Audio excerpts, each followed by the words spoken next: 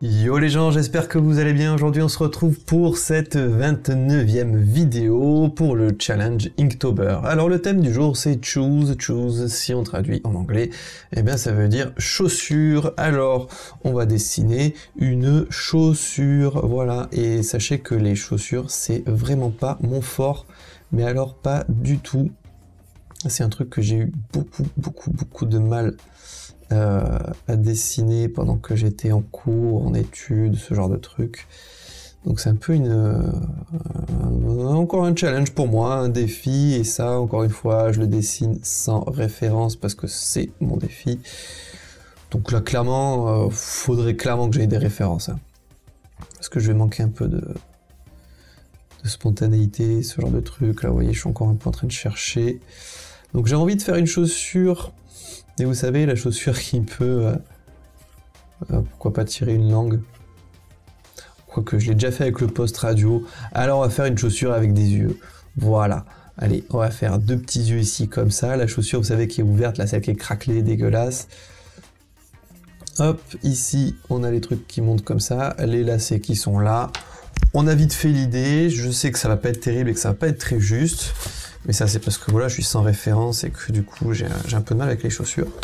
On va plier le papier. Euh, et donc, on va essayer de se lancer. Alors,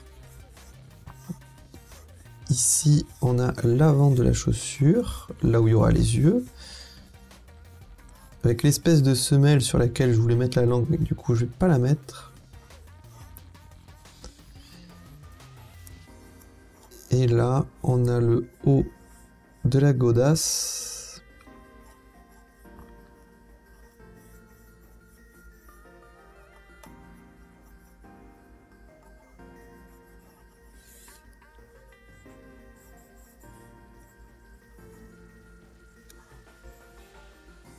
Ah, c'est dur. c'est dur la forme d'une chaussure, je trouve que c'est vraiment... Euh, ah, je sais pas, moi j'y arrive pas.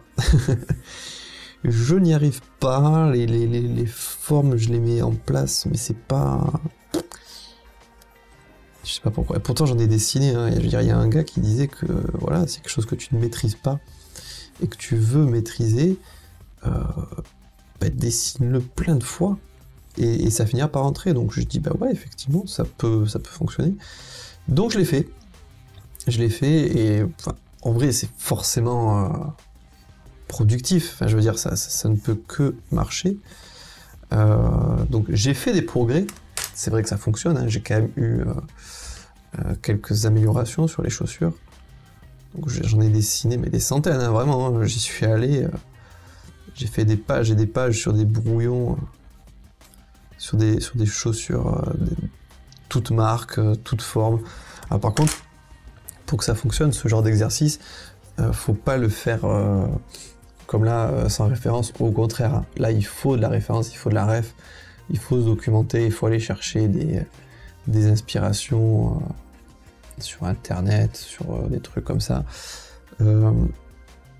Et bon, pour moi, voilà, ça, a fonctionné. J'ai eu des améliorations, forcément. Mais, mais, mais, ben voilà, hein, vous voyez, regardez encore aujourd'hui. Dessiner une chaussure, pour moi, eh ben, c'est pas encore, euh, c'est pas encore gagné. Donc voilà, merci Linktober de me faire faire encore un, truc que je ne maîtrise pas. Alors déjà je me mets en difficulté moi-même à vouloir dessiner sans référence. Voilà, clairement, euh, c'est la fin, quoi. C'est la fin, c'est la fin.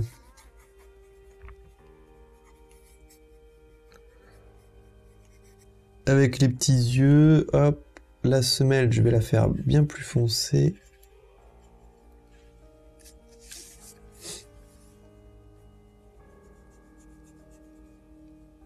Histoire que ça contraste un peu, et puis même, euh, je veux dire, dans la réalité, les semelles en général sont plus foncées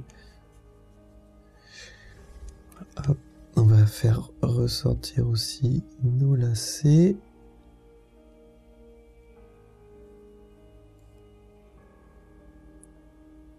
Avec les petits œillets là ici pour pouvoir faire passer les lacets comme ça.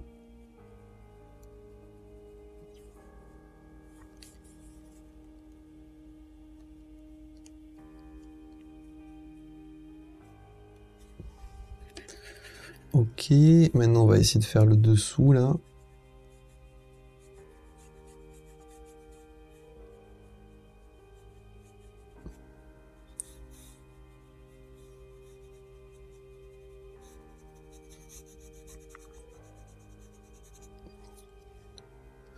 Bon bah c'est pas c'est pas fameux quoi, hein, je veux dire. Là, là, si on prend du recul et qu'on regarde le dessin, on se dit pas tiens il a fait une chaussure. Non, il a fait euh, un truc. il a fait un truc, on sait pas trop ce que c'est. Voilà, encore une fois, hein, ça arrive, c'est comme ça. Là, c'est pas du tout un manque de d'inspiration ou de motivation. Là, non, c'est un manque technique, clairement. Là, je le sais. Alors, c'est bien aussi des fois hein, de connaître ses points forts et ses points faibles, ses défauts, les trucs qu'on sait faire, qu'on sait pas faire. Ça peut, ça peut aider. Et euh, ça nous permet justement, nous, de savoir bah, qu'est-ce qu'on doit travailler pour s'améliorer sur tel ou tel truc. Par exemple, moi je sais que voilà, la gestion des épaisseurs des traits, les pleins, les déliés, tout ça, Walou, ça je ne maîtrise pas du tout. Les chaussures, voilà, je sais que c'est un, point faible pour moi. Donc, euh, donc voilà, ça permet après voilà, d'essayer de, s'adapter s'il faut, même si c'est pas la meilleure des solutions, mais je veux dire, cas d'extrême urgence, euh, bah, essayer d'éviter de faire euh, ce qu'on ne sait pas faire. Et qu'à contraire, bah, du coup, on sait sur quoi il faut bosser. Comment, sur quoi il faut évoluer pour pouvoir être un petit peu un peu plus performant sur telle ou telle chose, quoi. Voilà, voilà. Allez, écoutez, je pense que ça sera tout pour ce dessin. Je vais vraiment pas aller plus loin parce que vraiment, c'est, euh, je pense que c'est, ça va, ça va être encore pire. Donc écoutez, je vous remercie en tout cas d'avoir regardé cette vidéo jusqu'ici et moi je vous dis ciao, à la prochaine